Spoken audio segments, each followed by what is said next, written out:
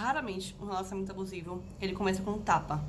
É, o tapa, ele é o divisor de águas, né, digamos assim, mas os abusos, no caso psicológicos, eles começam muito antes, muito no começo. Começa com um excesso de cuidado, de eu quero cuidar de você, eu quero, no caso, proteger você.